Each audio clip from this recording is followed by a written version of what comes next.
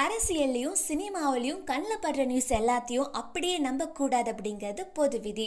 ஏன்னா வெளியே சொல்லப்படுறது உள்ள வேற ஒன்றா இருக்கும். சூப்பர் ஸ்டாரோட டூ பாயிண்ட் ஜீரோ படத்தோட சேட்டலைட் விஷயத்திலையும் அப்படிதான் இருக்குமோட்டு கோடம்பாக்கத்தில் சிலர் சந்தேகத்தை கிளப்பி இருக்காங்க பிரம்மாண்ட இயக்குனர் சங்கரோட இயக்கத்தில் சூப்பர் ஸ்டார் ரஜினிகாந்த் நடிப்பில் பிரம்மாண்டமாக உருவாகிட்டு இருக்கிற டூ பாயிண்ட் ஜீரோ படமானது இப்போ இறுதி கட்டத்தை எட்டியிருக்கு.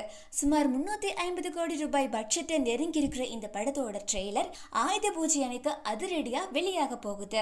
இந்த நிலையில நேத்து டூ பாயிண்ட் ஜீரோ படத்தோட ஆல் இந்திய சேட்டலைட் உரிமையானது ஜி டிவி நிர்வாகத்துக்கிட்ட நூத்தி பத்து கோடி ரூபாய்க்கு விற்பனை செய்யப்பட்டிருப்பதா தகவல் வெளியாயிருக்கு. அதாவது படத்தோட தமிழ் தெலுங்கு ஹிந்தின்ட்டு மூணு மொழிக்கான சேட்டலைட் ரைட்ஸையும் ஒரே பேரத்துல கைப்பற்றி இருக்கு ஜி டிவி அந்த சேனல் சேட்டலைட் ரைட்ஸை கைப்பற்றி இருக்கிறது என்னமோ உண்மைதான்.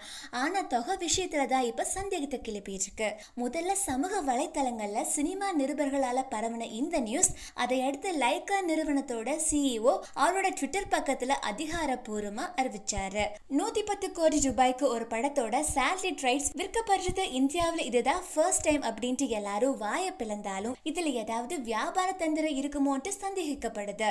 ரீசன் என்னன்னா கூடி சீக்கிரமே இந்த படத்துக்கான வியாபாரம் தொடங்க போற நிலையில இப்படி ஒரு நியூஸ் வந்தா டிஸ்ட்ரிபியூட்டர்ஸ் இப்போவே அவங்களோட மைண்டை செட் பண்ணிக்கிட்டு வியாபாரத்துல இறங்குவாங்க. எந்த கன்ஃபியூஷனும் ஏற்படாது.